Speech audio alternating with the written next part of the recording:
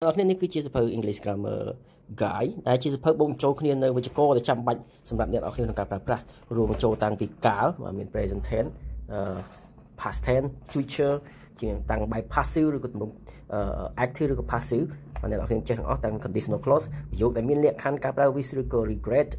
ហើយកម្មការសំណួរផ្សេងផ្សេងទាំង question tag ក៏យើងមានបញ្ចូលក្នុងហ្នឹងដែរបាទនិយាយទៅគឺតាំងពី report to speech ទៀតបាទនិយាយទៅជាទូទៅគឺបើសិនជាយើងមើល នៅក្នុងវគ្គសិក្សាឬមើលនៅក្នុងសភៅ grammar grammar guide នេះគឺអ្នកនរគ្នាឃើញថាសឹងតែថាគ្រប់ចំណុចសំខាន់សំខាន់ដែលអ្នកនរគ្នាឃើញក្នុងប្រយោគភាសាអង់គ្លេសគឺមាននៅក្នុងហ្នឹងបាទនេះសូម្បីតែការប្រើពាក្យមកជន់គ្នាក៏មាននៅក្នុងហ្នឹងដែរហើយអ្វីដែលចាំបាច់ហ្នឹងគឺថាបន្ទាប់ពីអ្នកនរគ្នារៀនអស់120 unit ហ្នឹងគឺចុងក្រោយគឺគេប្រាប់យើងតាមពីការសម្រេចចិត្តការធ្វើ making conversation ការបង្កើតការសន្ទនាយ៉ាងដូចនេះរៀនពី prefix suffix ពាក្យសម្រាប់ជាប់ក្នុងនេះបើនិយាយទៅយើងបានរៀបចំវាឡើង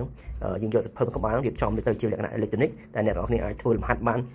អាចមើលវានៅក្នុងទូរស័ព្ទបានក្នុងកុំព្យូទ័រក៏បានហើយអត្ថបទនៃ grammar guide នេះគឺថាចំណុចពិសេសដែលសភៅផ្សេងនៅកម្រមានគឺការប្រើរូបភាព graphic បាទរូបភាពនេះគឺមិនមែនរូបភាពយើងធម្មតាជារូបបាទជារូបរូបថតធម្មតាទេបាទគឺជារូប graphic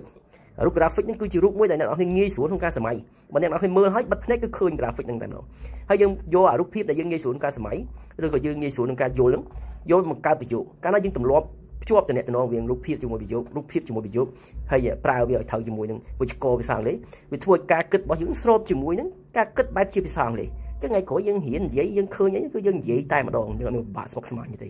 ហើយបើសិនជាការបង្កើត present simple យ៉ាងម៉េចគេឲ្យយើងបែកជាកង់កង់តែម្ដង អានេះគឺចំណុចពិសេសទី2ដែលសភៅនឹងមានទៅលើចំណុចពិសេសផ្សេងៗទៀតចំណុចពិសេសទី2គឺថាប្រយោគ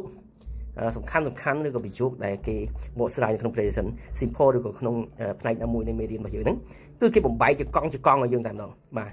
បែកជាកង់ជាកង់ឲ្យយើងតែម្ដងអញ្ចឹងកាលណាយើងរៀនចប់ហើយគឺយើងស្គាល់ part of speech ដោយស្វ័យប្រវត្តិបាទដោយភាពងាយស្រួលទីបំផុតអញ្ចឹងគេបំបែកកង់ចង់អ្នកនរគ្នារៀនរៀនមកដល់ បាទចំពុកជ្រៅទៅអ្នកនរគ្នានឹងឃើញថាប្រយោគភាសាអង់គ្លេសគឺយើងនឹងឃើញវាជាកង់ជាកង់ជាបំណែកដូចអ្វីដែលគេកាត់កង់កង់ពីដំបូងនេះមានភាពងាយស្រួលឲ្យយើងអញ្ចឹងបាទអញ្ចឹងមានរូបភាពហើយផ្នែកនីមួយៗក៏អត់ស្មុគស្មាញទេចំពោះអ្នកអានគឺគាត់អានតែអក្សរធំធំនេះក៏បានដែរអក្សរទូចទូចនេះគឺយើងជាអ្នកបញ្ជូលបាទហាងសាលាដែលរៀបចំមេរៀននេះគឺជាអ្នកបញ្ជូលអ្នកនរគ្នាហើយតែប៉ុណ្ណោះគឺយើងមានលំហាត់